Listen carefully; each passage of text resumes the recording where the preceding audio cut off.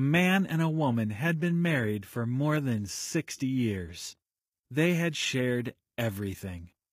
They had no secrets from each other, except that the little old woman had a shoebox in the top of her closet that she had cautioned her husband never to open or ask her about. For all these years he had never thought about the box, but one day the little old woman got very sick, and the doctor said she would not recover.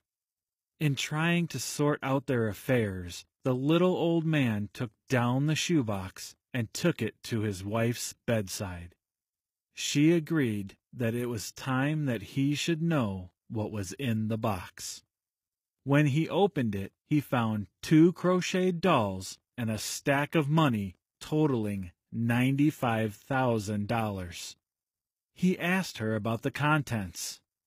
When we were to be married, she said, my grandmother told me the secret of a happy marriage was never to argue.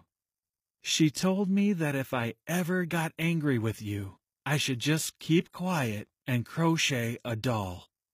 The little old man was moved.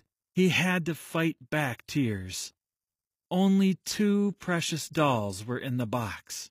She had only been angry with him two times in all those years of living and loving. He almost burst with happiness. Honey, he said, that explains the dolls. But what about all this money? Where did it come from?